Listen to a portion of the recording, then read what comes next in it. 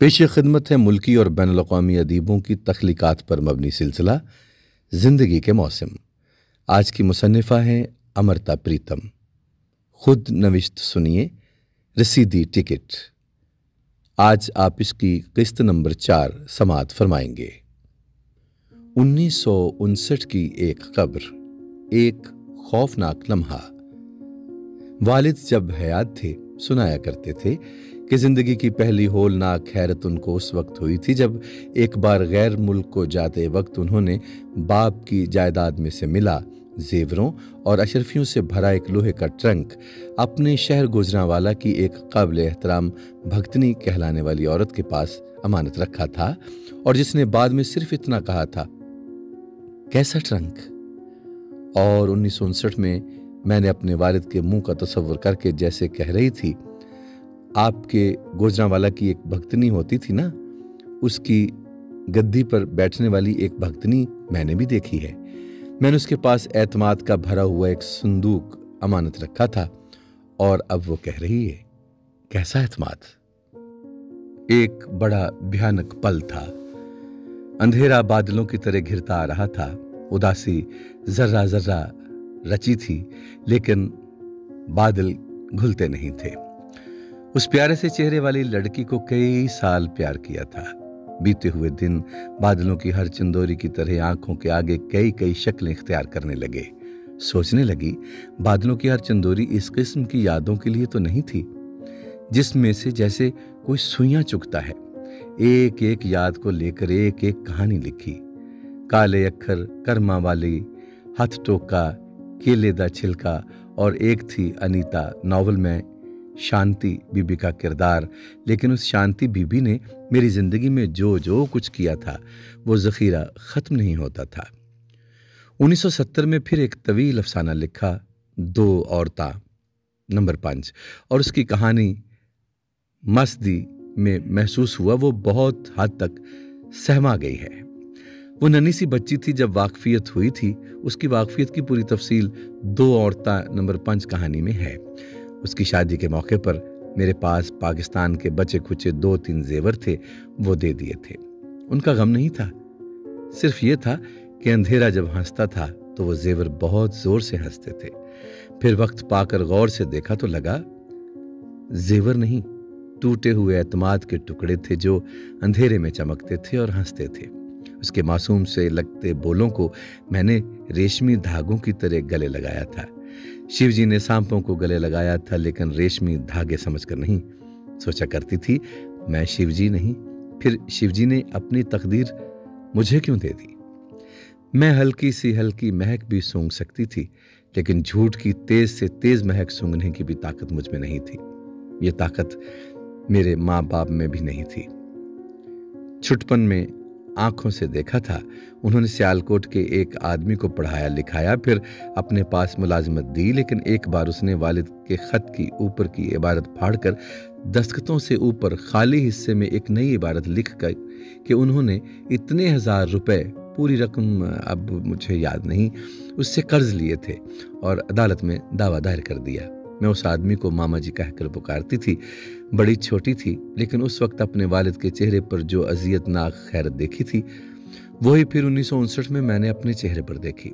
हैरान थी, हादसात के खलिए किस तरह मिल जाते हैं।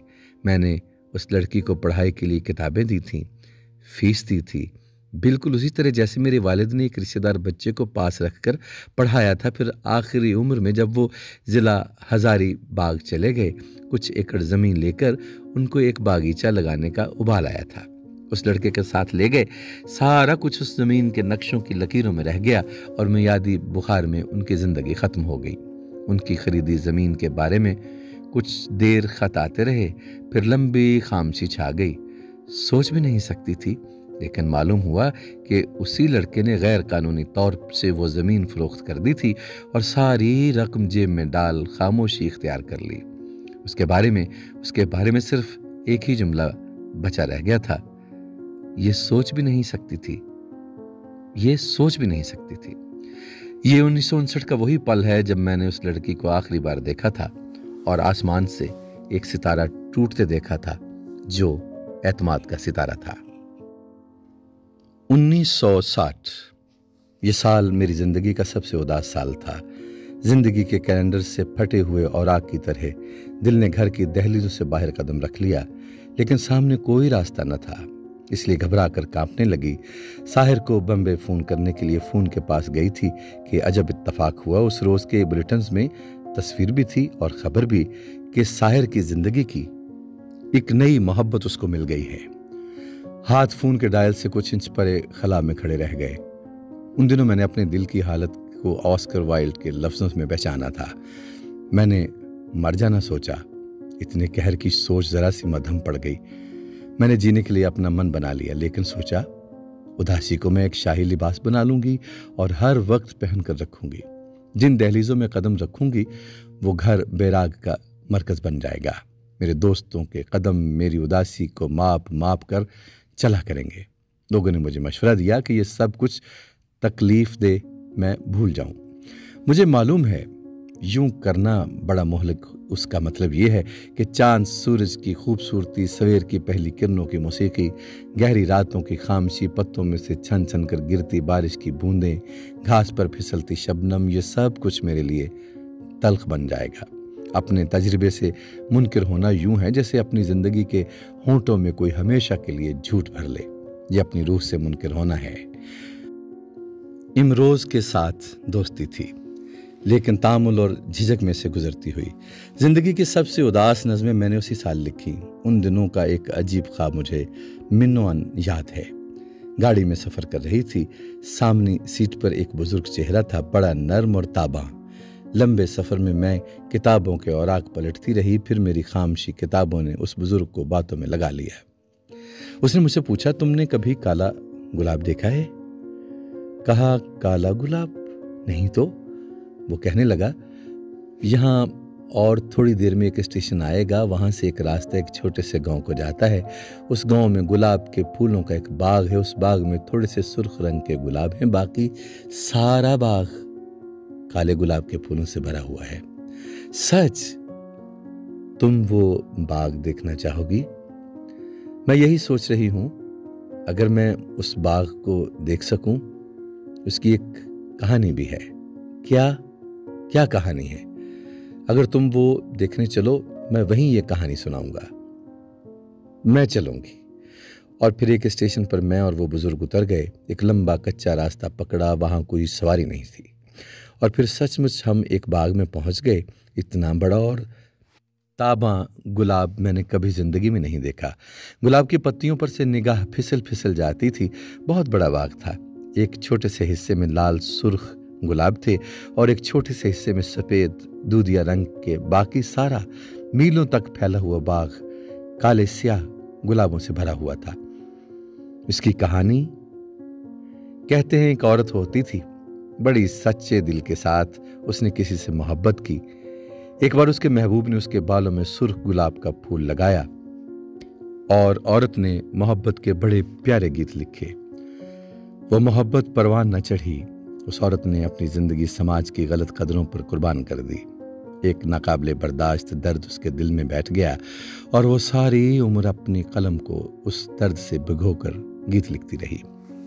खुद का सोच वो नज़र बख्शता है, जिस नज़र से कोई पराए दर्दों को देख सकता है। उसने अपने दर्द में सारी इंसानियत के दर्द को मिला लिया और फिर वो गीत लिखे, जिनमें सिर्फ़ उसका नहीं, तमाम लोगों का दर्द था।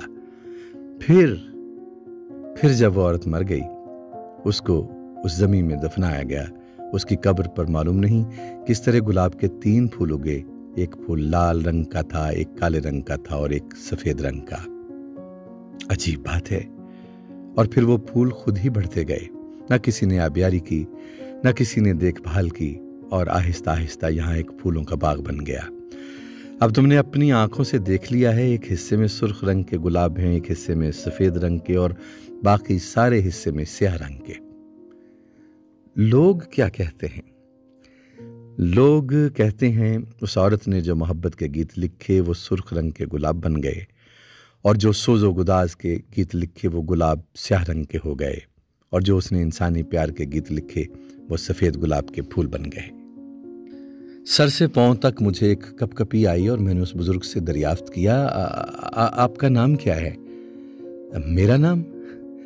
मेरा नाम वक्त। है वक्त तुम मेरी कहानी ही मुझको सुना रहे हो? और वक्त की मुस्कुराहट के साथ और मेरी अपनी कपकपी के साथ मेरी नींद खुल गई और उस वक्त ही लिखा, अलमिया, ये नहीं होता कि रात की कटोरी को कोई ज़िंदगी के शहद से न भर सके और असलियत के होंठ कभी उस शहद को न चख सके। अलमिया, ये होता है जब रात की कटोरी पर से चाँद की कलई उतर जाए और उस कटोरी में पड़ा हुआ तस्वुर कसर जाए। अलमिया, ये नहीं होता कि आपकी तकदीर से आपके महबूब का सरनामा ना पढ़ा जाए और आपकी उम्र की चिट्ठी हमेशा भटकती रहे। अलमिया, ये होता है कि आप अपने महबूब की तरफ़ अपनी उम्र का सारा ख़त लिख लें और फिर आपसे आपके महबूब का सरनामा खो जाए। अलमिया, ये नहीं होता कि ज़िंदगी की तवील सफ़र पर समाज के बंधन अपने कांटे बखेरते रहें और आपके पाँव में से सारी उम्र खून रिश्ता रहे। अलमिया ये होता है कि आप लहू लुहान पाँव के साथ एक उस मकाम पर खड़े हो जाएँ जिनके आगे कोई रास्ता आपको बुलावा न दे। अलमिया ये नहीं होता कि आप अपने इश्क के ठिठरते बदन के लिए सारी उम्र गीतों के पैराहन सीते रहें। अलमिया ये होता है कि उन पैराहनों को सीने के लिए आपके पास ख्यालों का धागा ख़त्म हो जाए और आपकी कलमी सुई की नोक टूट जाए। उस साल के आखिर में मैं एक साइकेट्रिस्ट के ज़ेर इलाज भी रही, अपने आप को जानने के लिए और उसकी हिदायत पर रोज़ के ख्याल तो अफकार और सपने कागज़ पर लिखा करती थी। उन दिनों के अजीब व गरीब ख्वाब जो डॉक्टर के पढ़ने के लिए लिखे थे, ये थे। किसी बड़ी ऊँची इमारत की चोटी पर मैं अकेली खड़ी होकर अपने हाथ में पकड़ी कलम के साथ बातें कर रही थी। तुम मेरा साथ दोगे? कितना अरसा मेरी रफाकत करोगे? अचानक किसी ने घुटकर मेरा हाथ पकड़ लिया। तुम छलावे हो मेरा हाथ छोड़ दो। मैंने कहा, और ज़ोर से अपना हाथ छुड़ाकर इमारत की सीढ़ियाँ उतरने लगी। मैं बड़ी तेज उतर रही थी, लेकिन सीढ़ियाँ खत्म होने में ना आती थी।